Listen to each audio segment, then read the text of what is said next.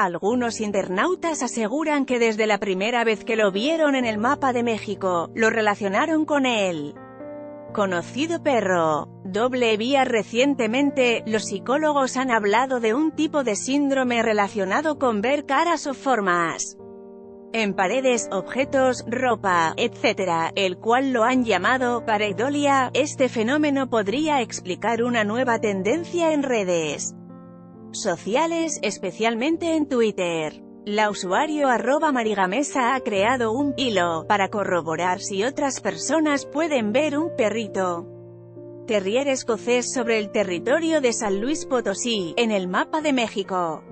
Sin embargo, no es el único estado que ha comparado con un animal. A Tabasco le dio forma de una caballito de mar. ¿Tú qué opinas?